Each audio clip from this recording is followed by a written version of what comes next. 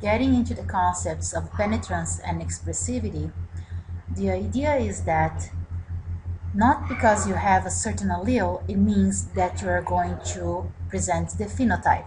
That means that two people that have a particular allele may have different phenotypes. And this is an example of nature versus nurture. The penetrance has to do with whether a certain phenotype shows up or not.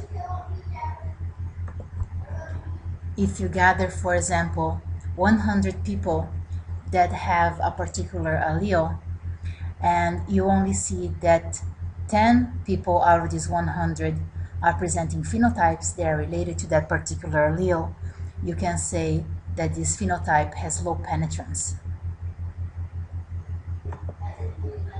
To calculate the penetrance of a particular allele, you have to look at the total amount of people that have the allele and also the total amount of people that express the allele. So here the example is that if you have 42 people that carry the allele and only 38 people express the gene for that allele, you have a total penetrance that is 90%.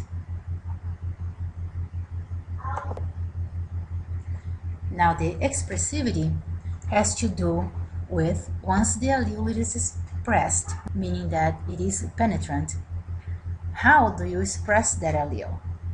And the example given here was in the case of polydactyly, which is a gene that will encode for extra digits.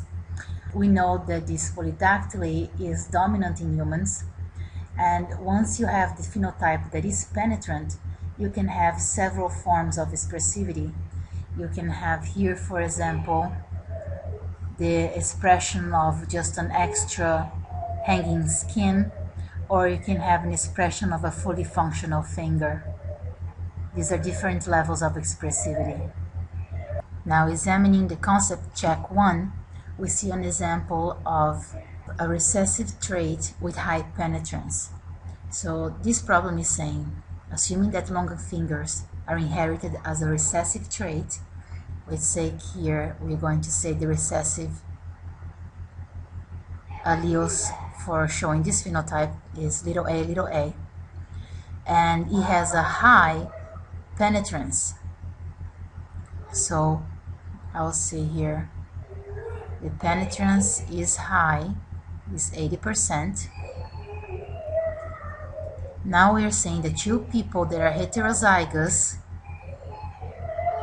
this means that we have big A, little a for one of the parents and big A, little a for the other parent. Okay, for this long fingers mate. What is the probability that their first child will have long fingers? So he's asking what is the probability of this happening and expressing. So you do your Punnett square.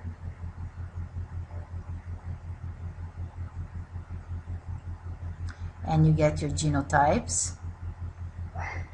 Big A, big A, big A, little a, big A, little a, then little a, little a. Now we see here that one out of four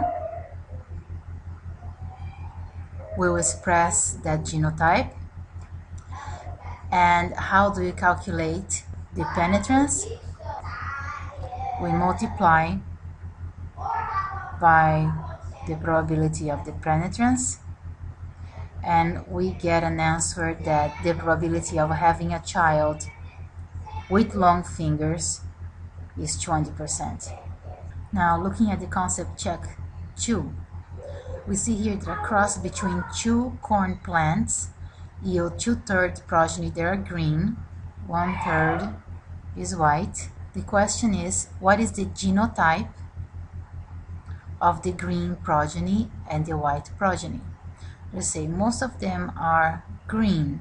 So let's assume that this is your dominant allele and this is your recessive allele. since you have some of the progeny that come up as recessive, you know that you have a cross of heterozygous parents. Let's see, for example, if one of the parents is homozygous dominant and one of the parents is homozygous recessive, for example,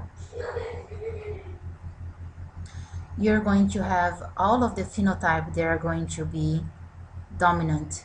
All of them F1 all of the F1 generation is going to be this phenotype this genotype and this phenotype. Now if you are crossing here two heterozygous you'll see that you will have a 1 to 2 to 1 ratio on the genotype now we look at the progeny it says two-thirds are green and one-third is white. So if you assume that two-thirds are green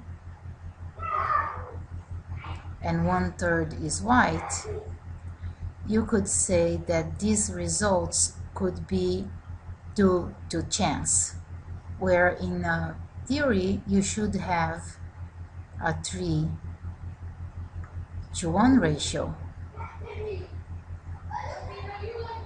You see here, if you have a dominant allele and it's a truly dominant allele and you have three of the progeny they're showing dominant and one that is showing recessive trait, you should have a 3 to 1 ratio. Now, you can calculate if these results are due to chance by using the chi-square test. So let's see here. Let me get this clear. And let's use our chi-square test. So chi-square is equal to, let's see first for the green. If you observe for the green phenotype, two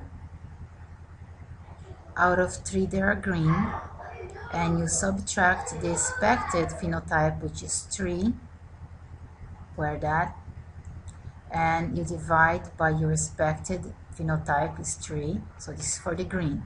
Then you add the calculation for your white phenotype which is 1 out of 3 that is observed and you expect okay you expect one.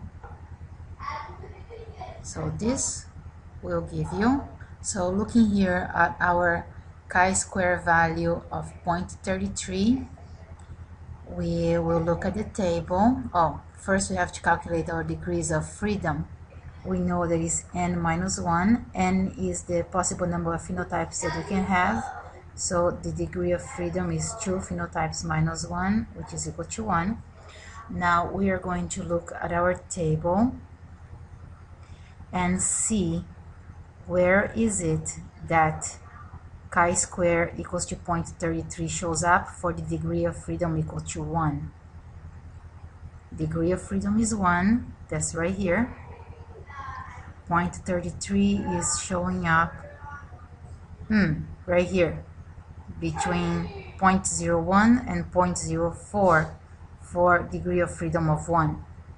This means that our p-value is between 0.9 and 0.5. So the probability that this event is, doing, is due to chance is actually high. Coming back to our problem, assuming that the deviation of the 3 to 1 ratio was due to chance, you can say that your green phenotype would be your dominant phenotype and your white phenotype would be your recessive phenotype. So here the answer would be green and can also be represented as that. And then your white phenotype would have to be your recessive phenotype.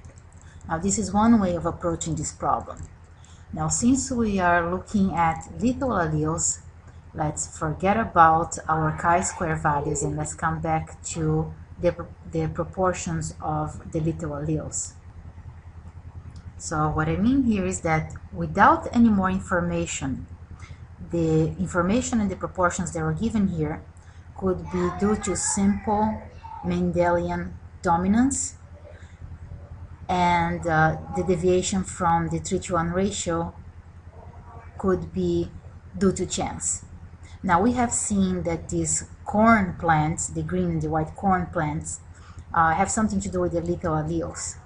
And we also have seen that when you have one phenotype that was white, and this phenotype here was the green, and the recessive was a lethal allele, so we do not get this phenotype.